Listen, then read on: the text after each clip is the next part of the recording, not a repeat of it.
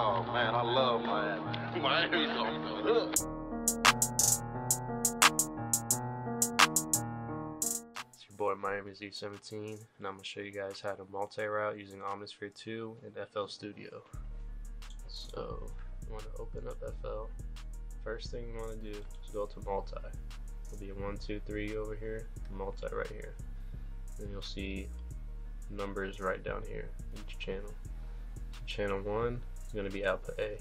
Channel 2 is going to be B. Channel 3 going to make that a C. 4, D, 5, E, F, G, and H. Alright, then you're going to hit this gear up here in the top left corner. Click the wrench, no, click the one with the gear and the plug. Click 1 and 1. Import is 1, output port is 1. Go to processing. It's going to say Omnisphere A, make that 1, then click Auto Map Outputs. Then it should say 2, 3, 4, 5, 6, 7, 8, just like over here. Make sure that they match. For your first sound, let's choose a bell. We'll make a quick pattern.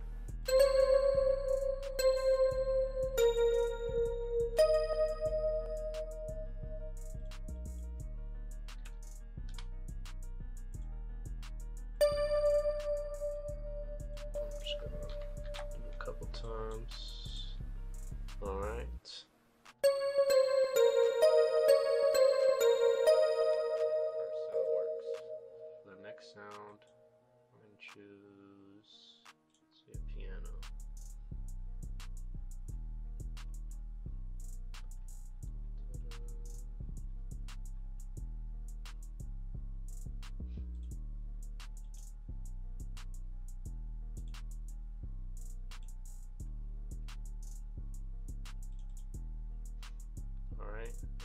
Sound, going to open up MIDI out.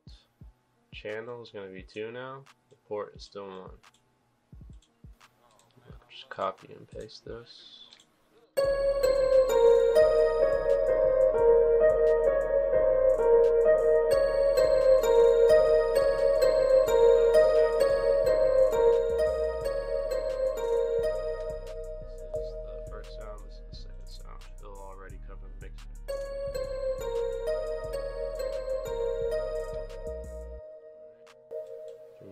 third sound, just choose your sound. We'll do a C synth bass. Open up a MIDI out. This will be channel 3 now, or 1. I'm just gonna paste that too.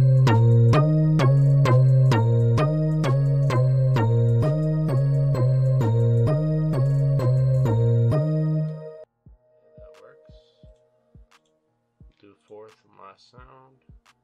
C strings. Don't know what that is, but we'll try it. Video. Three, no, four, four, four, point one. Channel four, port one.